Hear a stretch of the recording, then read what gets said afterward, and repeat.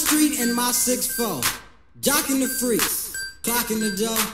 Went to the park to get the scoop. Knuckleheads out there, cold shooting some hoops. A car.